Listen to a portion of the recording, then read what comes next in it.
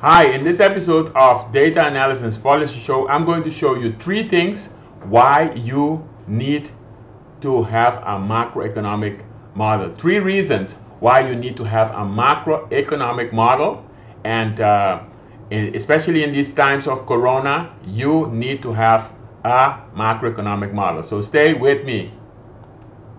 Hi, my name is Runy Calmera, and as you know, the the this show is about macroeconomic model, and this show is about uh, um, turning data into analysis so that you can create the right policies. So if you are a policy advisor in the Caribbean, and if you are looking at the world what is happening with the corona, etc. And also after the corona crisis, uh, the grow the world is projected to go into a recession, a deep recession, deeper than 2008 with a financial um, uh, financial sector crisis. So I'm going to show you why the three reasons why you need to have a macroeconomic model as a policy advisor, as a practitioner, economic practitioner in the Caribbean. And this applies also for the whole world. So it's not only uh, the Caribbean, but it's also the whole world, wherever you are living, wherever you are seeing this episode, you can benefit from it because you want to structure your insights, you want to be on top of your game. Now, what happens? I'm from Curacao, and during this week, I've been receiving all kinds of policy papers, of, of, of data, of analysis from, for instance, the Ministry of Economic Affairs, from the Central Bank of Curacao, from the, the Ministry of Finance, from the CFT, all kinds of, of data have been um, put on there in the world in the newspapers talking about the effects, the effects of the corona crisis. Now, let me tell you, in all of those papers, what I saw is that there are a lot of data all over the place. Some people are saying this is the effect, some is this is the effect. Some people are saying how many people are working in tourism. Some people are saying how many, how big is our GDP.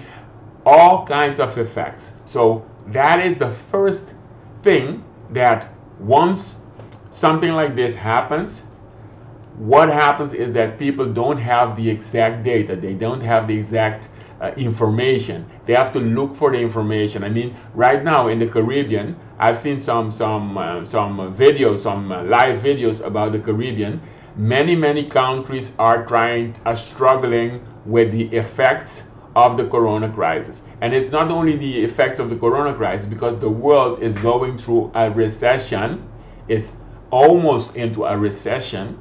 And when the world contracts, if the recession keeps on, on, on being there more and more years, if it's a deeper recession, many people will lose their jobs, many uh, companies will go bankrupt, the governments will receive less uh, tax income, they have to cut their budgets, social um, social benefits are going to be cut. This can have effect on the pension funds. This can have effects on the currencies because if um, if the tourism is is not generating foreign income, then you cannot keep those um, those currencies pegged to the dollar. So those are this is just the initial part, and there can there can be many many many effects in the coming years this year and also the coming years so as a practitioner as a as a as an econ economist somebody looking at the data looking at the at the figures.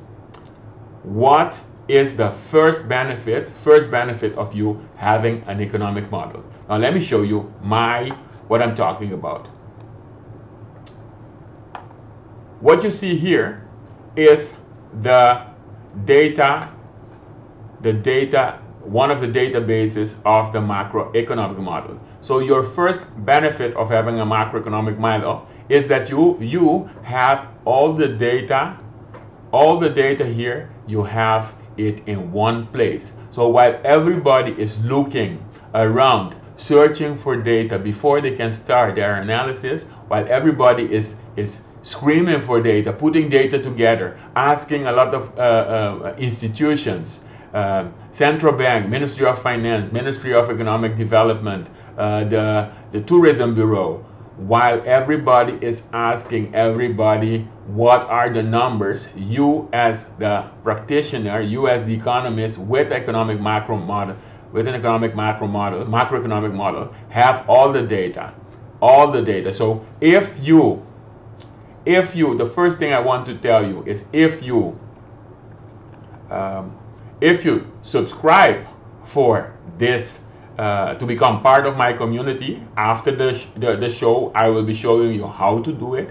You will get this data the 54 variables that you need to have so that when everybody is running for the data you as a practitioner you as an economic economist you as a policymaker you know exactly what kind of data from now on to collect and i'm going to show you why you need to collect that so look let's just briefly look this is the data you will get. You will get this data, the format of this data, an example, and these are the data.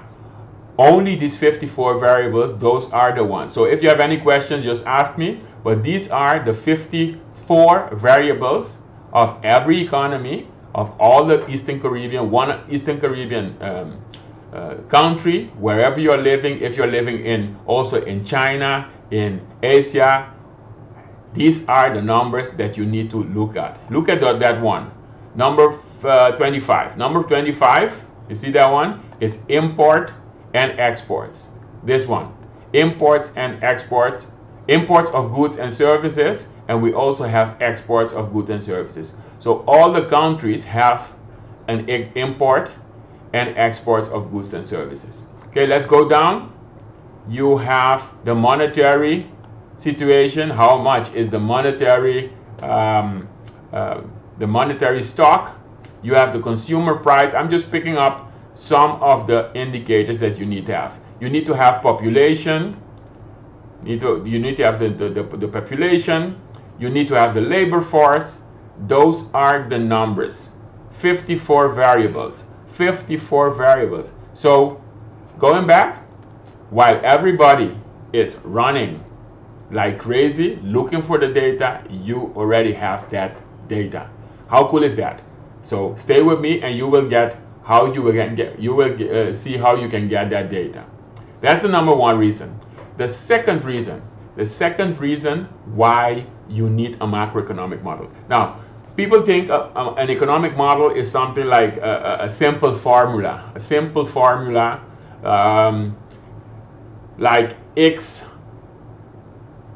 times A plus B is Y. You know, it's a simple model. So a lot of people talk about models like it is a simple formula and you know I'm working on my models etc. I'm estimating that models. Now the models I'm talking about here is a consistent framework of data, of definitions and data and behavioral equations. What do I mean with that? I mean that it's a consistent, very efficient system where you have like all the definitions that are relevant in an economy. So, for instance, the if you're looking at the budget deficit, the budget deficit is the revenues minus the expenditures. That's the definition. And in every model I have constructed, I've constructed 10 macroeconomic models for two Dutch Caribbean islands and eight Eastern Caribbean islands. So in all those models, their definition is really the same. The other thing, GDP, the debt ratio, the debt ratio, the debt ratio, sorry, is debt divided by GDP. So if you're looking at the debt ratio is 54%, then every island, every country, it's the same definition. So that's what I mean with a consistent framework where you take, for instance, in this case, the debt divided by the GDP, which is the total income. That is a consistent framework. So when you have that consistent framework, you know exactly how to get the data which we got which we already put in step one. Now you're going to put that data into um, a consistent framework. They are related together. But that's not the consistent framework of definitions only. Also, estimates of the future. In this model, the estimates of the future are green. That means the estimate of the future is, for instance, an investment function. An investment function says investment is dependent on how your economy has uh, fared in the past, how the GDP has in, in the last three years. You see, that's an investment function. A consumption function is saying consumption is a percentage of the income, not only the income, the income after taxes. Okay? So that is an export function. An export function is, for instance, in this model, dependent on the number of cruise and stayover tourists. So that's the two the second part why you need a model because you will get the consistent definition of uh, uh, how the, the, the data are related together. For instance, uh, the, the, the depth quote and also the part where you see how the, the estimates are done. So the estimates are, in my model, green. So let's look at what I'm, what I'm telling you. So the second part, next to the data, now we go and we say the model. So here you see the model. The model, and you see exactly a, defin a, a, a system. So let's look at the definition first the definition. I'm going to show you the definition. So let me look, look at you. I'm going to show you the definition of the depth. Um, and that definition is here. You see one? Row 247.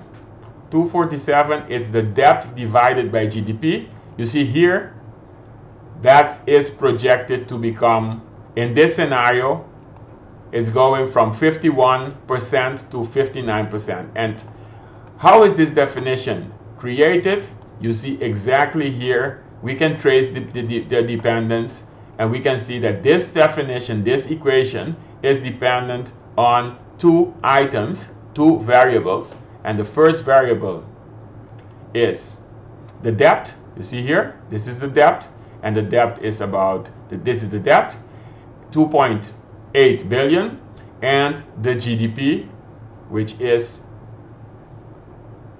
5.2 billion. 5.2 billion in this episode. You see this is this is um, this is how you see the definition. And let's look at the consumption. Let's now look at the the estimates of the future. So I said the gross capital formation by enterprises. This is like the, the investment function. You see that this investment function, if we check of where it is going, I said the last three years. So this investment function, I clicked in there and I see where is it coming from. And you see it is coming from the variables of gross domestic product for the enterprises of the last three years and it is also probably from the investment price. So here we see a variable in the future which is green which we estimated and we also saw a depth uh, a definition okay so that's the second Second reason why you need to have a macroeconomic model. So recapping, not only the data, we have seen that the macro model gives you a data base, and the second thing is it gives you a consistent framework for the, uh, the definitions, not only in small islands, but all over the world, and also the estimates. So what have we seen? If you have this macroeconomic model, anywhere in the world, it will work of course, the, the, the, the, the behaviors will be a little bit different with different parameters, but this macroeconomic model, it will help you because you can run your simulations. Once I've created this macroeconomic model for Curacao, for St. Martin, for St. Lucia, I can now create it for China. I can create it for the United States. I can create it for Europe. I can analyze the any any e economy. So I will not be running around and saying like, hey, what is happening? Now, but let me show you the third reason why you need a macroeconomic model. And this is where it gets excited, guys. This is the reason. This is only what we can do as practitioners with a macroeconomic model. Now, look at this, the picture. In the Caribbean, people are asking themselves, I mean, what are the effects of this um, coronavirus? Furthermore, not only the coronavirus, but if the world goes into a contraction, if the the economies of the European countries where we are dependent from, or the North American countries like Canada and United States, if the economies uh, collapse, or if Asian economies co collapse, what is going to happen with the Caribbean? Long term, how do we need to change the Caribbean islands so that we can transform our economies. I mean, this morning I saw, for instance, Dr. Justin Ram from the Central ba uh, Caribbean, from the Caribbean Development Bank, Caribbean Development Bank. He was in a in a in a, a virtual uh, summit where he said that we really need to have um, um, think about the competitiveness of the Caribbean islands. So when I hear competitiveness, I already already know what indicator to look into my, my economy, into my economic model. I need to look at the export price. How is the export price of my uh, island, Curacao, or any island in the Caribbean? How are they compared to the other islands? Because the competitiveness uh, is determined by the price uh, you have internally is dependent on on on uh, the import price, etc. We are not going to look at the competitiveness, but when you hear competitiveness, you will know, exa know exactly where to look into your model. But the third reason, are you ready for the third reason? I mean, this reason revol uh, um, made a revolution in my in my life, transformed my life when I started to doing this, and that is the power of simulations. I mean, let me take let me take a, a glass of water. When you have a macroeconomic model and everybody is trying to put all those spreadsheets together, they're trying to construct what is going to happen, you will sit back and you will run a simulation. And I'm going to show you what simulations I ran for the Curacao economy. And you can also, when you have these kind of models like this, you can be running this for your own island in the Caribbean. The scenario I was running is this. What happens if the cruise and the stayover tourists decrease with 50% on Curacao? Can you imagine that? Curacao has a lot of tour, uh, tourism. Stayover is the, the, the, the, the tourists which stay for maybe 10, year, 10 days, and the cruise uh, tourists, they stay for only for one day. So what happens if that happens? What happens with the economy when that happens? That is what we can do as practitioners with a macroeconomic model. We are able to go in, type directly on those indicators, cruise and stay over, and then see the picture. Nobody can do that. Nobody, remind you, read my lips, nobody can do that. We can do that because we have invested into macro model. I'm going to show you exactly. So with that, with that, with that indicator, with that scenario, first thing you want to know is how many cruise tourists are there. And the second thing you want is how many stayover tourists are there. Now I'm seeing I'm having only two minutes, but I'm going to go extra five minutes of your time with this because this is getting critical. So how many cruise tourists are there and how many stayover tourists are there? That's the question and then we're going to reduce it with 50%. Now, let me look at the model.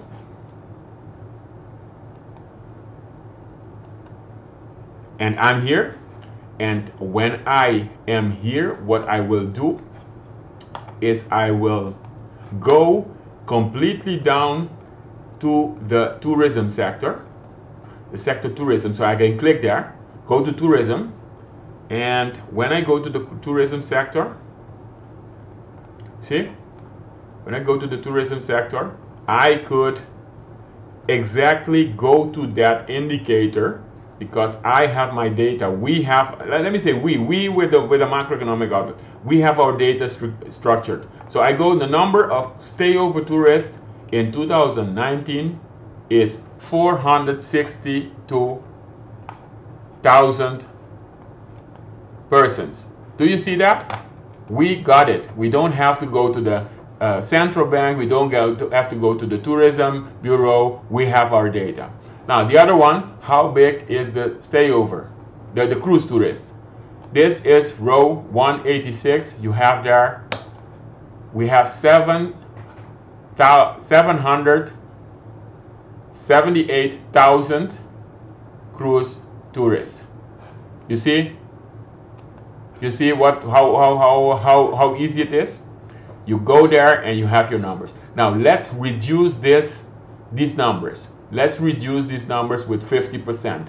I'm going to show you how I did it.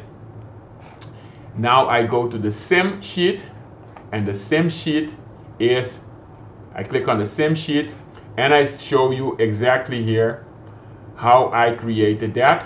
And this formula is saying I'm picking up um, uh, that number and I'm doing, uh, I'm picking up the number in the model which we just saw of the stayover and I am putting 0.5 in there.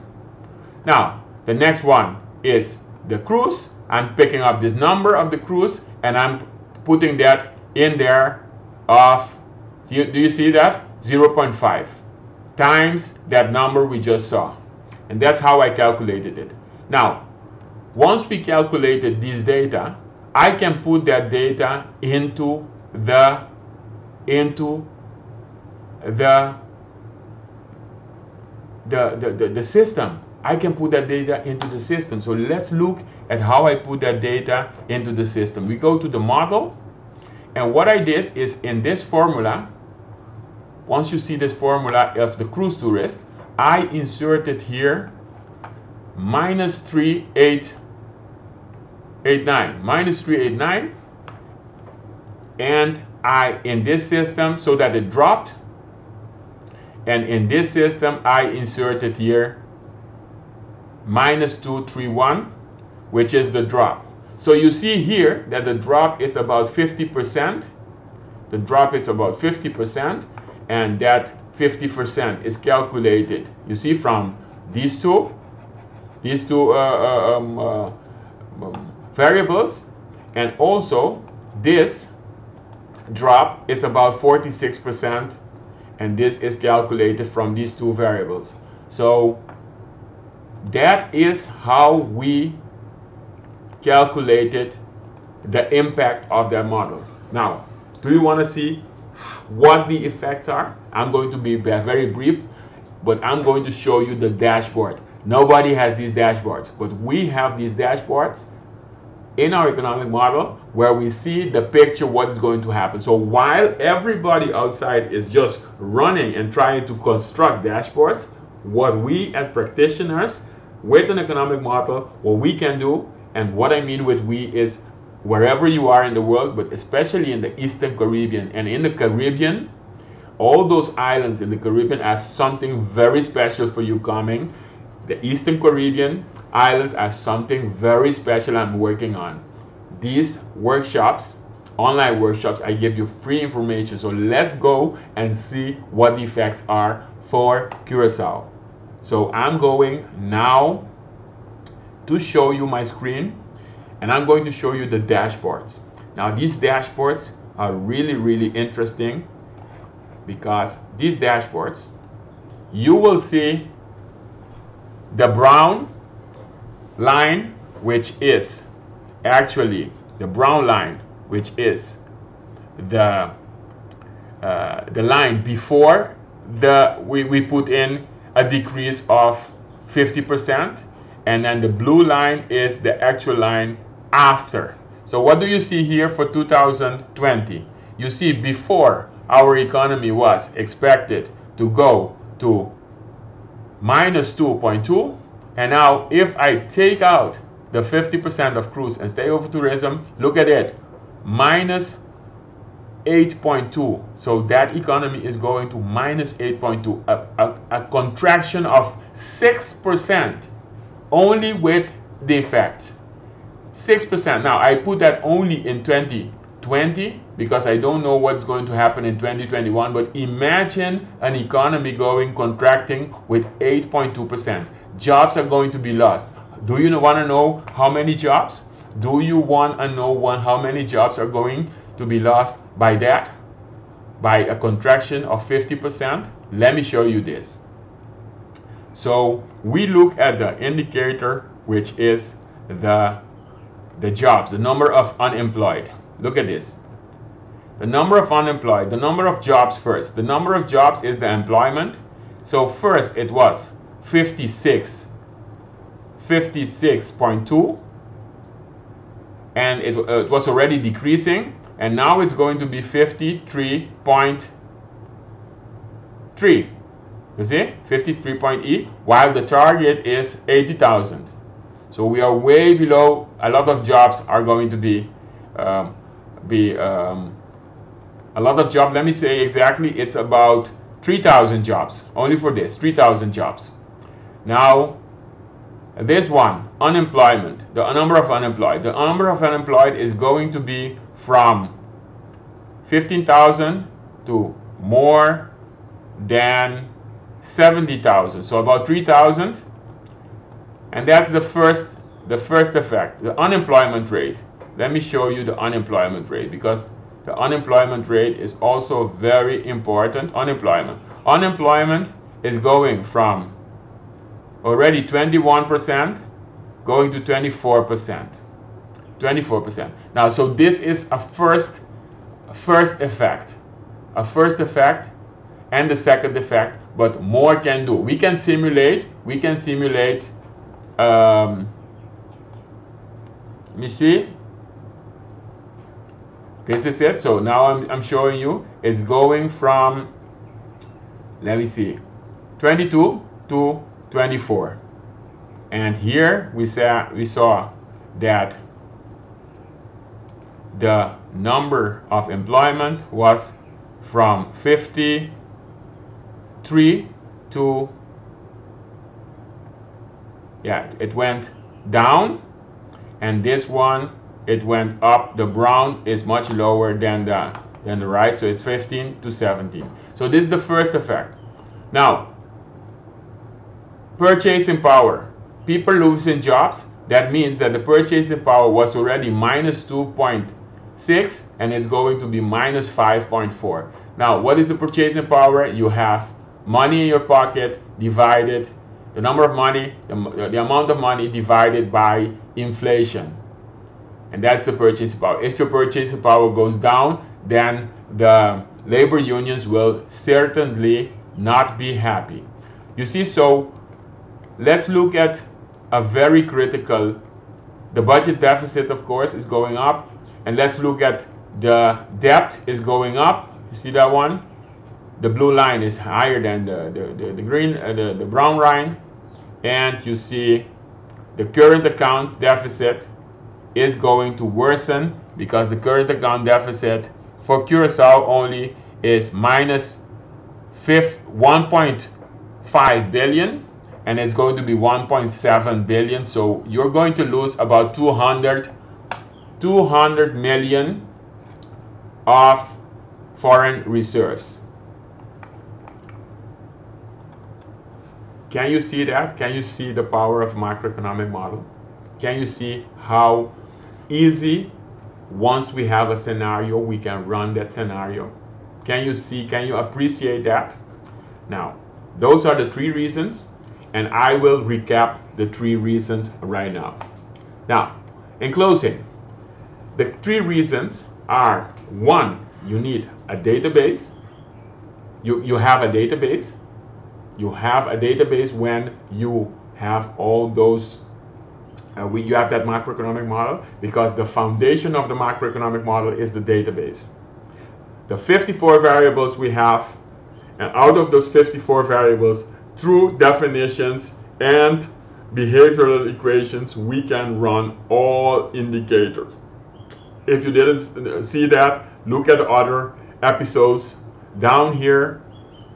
You will see that we have all those indicators created. The two, second reason is, recapping, is you have a consistent database, you have a consistent um, definition, system of definitions. The definitions are clear, nobody has to make mistakes, and you have also a clear system of behavioral equations for the future.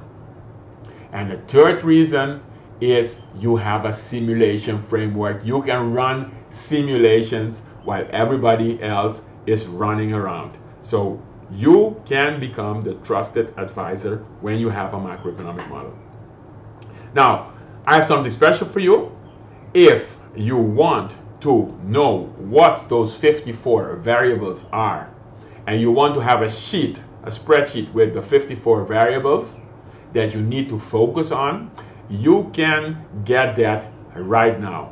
You can get that right now by clicking on www.calmera.net forward slash waitlist.